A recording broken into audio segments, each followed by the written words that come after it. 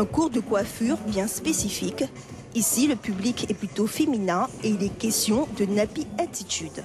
Le cheveu naturel, qu'il soit crépus ou bouclé, est analysé, décrypté, valorisé. Karine, depuis 4 ans, a adopté la philosophie nappy. Elle l'applique dans son salon de coiffure.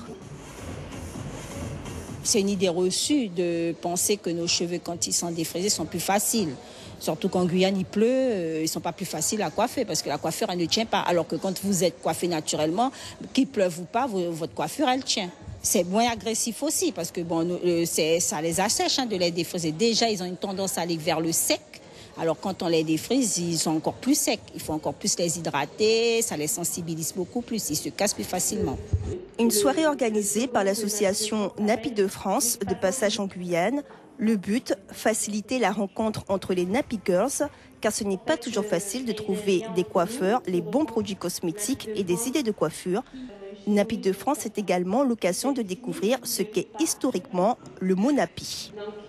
À la base, en fait, le mot napi, c'est une insulte. Euh, pour définir le cheveu crépus. Tout comme on dit en créole, Toguin chivé granin, c'est pas tout le monde qui apprécie qu'on dise qu'on ait des cheveux granins en, créole.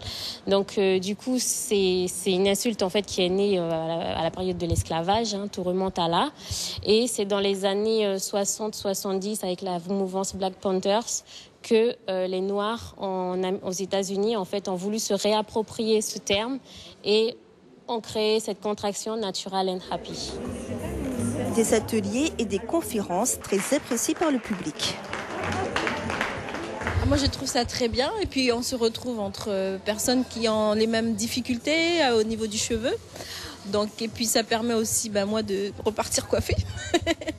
voilà. Et puis, de tester en direct pour d'autres qui auraient un petit peu plus peur. Euh, de, revenir au naturel ou même euh, qui auraient des difficultés pour se coiffer. Ce soir, l'atelier coiffure permet, parce que moi j'ai les cheveux quand même courts et j'ai pu voir une coiffure sur cheveux courts et c'est vrai que c'est intéressant de voir qu'on peut se coiffer avec les cheveux naturels, euh, changer un petit peu du afro ou des tresses.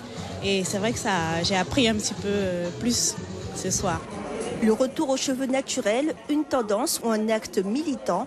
La prochaine soirée sera consacrée à la beauté camite un autre concept de beauté à découvrir.